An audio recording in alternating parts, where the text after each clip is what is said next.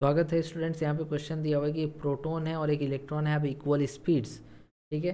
तो speed of proton is equal to speed of electron ये question में given है।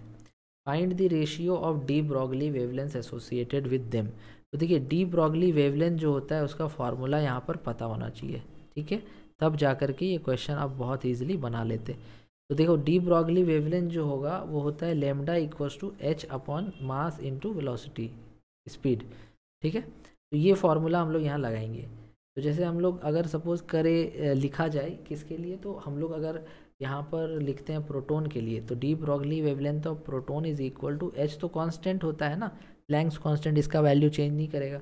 मास ऑफ़ प्रोटोन लिखना पड़ेगा और वेलोसिटी ऑफ़ प्रोटोन ठीक है?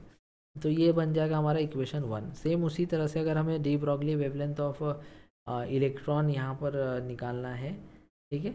तो वो आ जाएगा h upon mass of electron into velocity of electron ये दो इक्वेशन बन रहा है। और क्वेश्चन में हमें कहा था कि रेशियो बताना इसका। तो रेशियो के लिए हम क्या करेंगे? इनको डिवाइड कर देंगे। तो wavelength of proton by wavelength of electron equals to h upon उसका वैल्यू रख दो। फिर डिवाइड में इसका वैल्यू रख दो। एच कट गया वी सेम था, कट गया। क्या बचा? Mass of electron by mass of proton अब मास ऑफ़ इलेक्ट्रॉन भाई, तुम्हें पता होना चाहिए कि मास ऑफ़ इलेक्ट्रॉन होता है nine point one into ten to the power minus thirty one k g और मास ऑफ़ प्रोटोन होता है one point six seven into ten to the power minus twenty seven k g अब इसको करना पड़ेगा तुम्हें सॉल्व तो देखो कैसे करेंगे। तो delta lambda p by lambda e equals to सबसे पहले क्या करो कि नाइन पॉइंट वन जो है उसको तुम डेसिमल को वहाँ से हटा दो। डेसिमल हटा तो नीचे दस आ गया। यहाँ से डेसिमल हटा तो ऊपर सौ आ गया, दो ज़ीरो था, दो दो डेसिमल था। एक ज़ीरो कटेगा वैसे भी। तो ऊपर आ रहा है नाइन हंड्रेड टेन और नीचे आ रहा है वन सिक्सटी सेवन। तो तुम्हारा सबसे पहला काम रहेगा कि नाइन हंड्रेड टेन को वन सिक्सटी सेवन से डिवाइड करने का, वो तो तुम्हें आता होगा। तो ये लगभग तुम्हारा आ जाएगा फाइव पॉइंट फोर फाइव, ठीक है? Nine hundred ten divided by one sixty seven करेंगे, फाइव पॉइंट फोर फाइव आ जाएगा। इंटू अब देखो, इसके पावर में माइनस थर्टी वन है और इसके पावर में कितना है? माइनस ट्वेंटी सेवन तो ये माइनस ट्वेंटी सेवन ऊपर जाएगा तो प्लस ट्वेंटी सेवन बन जाएगा। तो minus thirty one plus twenty seven क्या बचा? Ten to the power minus four बचा। ठीक है? तो ये हमारा रेशियो आ गया। तुम चाहो तो ऐसे लिख करके आंसर बता दो कि हाँ भाई, ये मेरा आंसर है। अगर तुम्हें फ्रैक्शन में लिखना है तो फ्रैक्शन में फिर ऐसे लिखना पड़ेगा।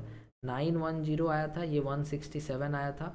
और ऊपर में ten to the power minus four बना मेरा, ठीक है? तो इसको फ्रैक्शन में अगर तुम लिखना चाहते हो तो नीचे ही रहने दो वो टेन टू दावर फोर को, ठीक है?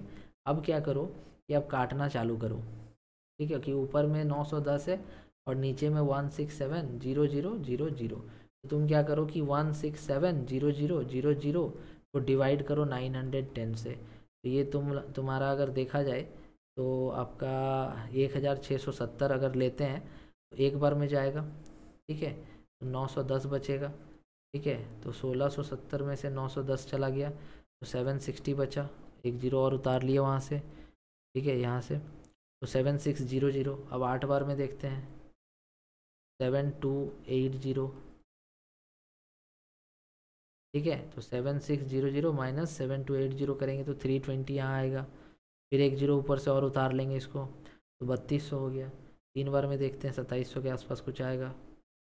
तो सत्ताईस ठीक है, सत्ताईस आ गया और उसको घटाएँगे बत्तीस सौ से चार सौ सत्तर हो गया। फिर एक ज़ीरो यहाँ से लास्ट वाला आएगा, ठीक है। तो पहले आठ, एक के बाद आठ आठ के बाद तीन। अब देखते हैं चार बार में तो नौ सौ दस इंटू चार तो ये तीन हज़ार छः सौ आएगा, चालीस आएगा तो ये चार आ गया। तो ये तुम्हारा ऐसे भी लिख सकते हो, one by one eight three four करके, ठीक है।